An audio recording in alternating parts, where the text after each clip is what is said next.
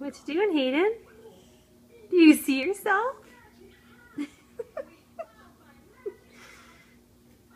Who's that?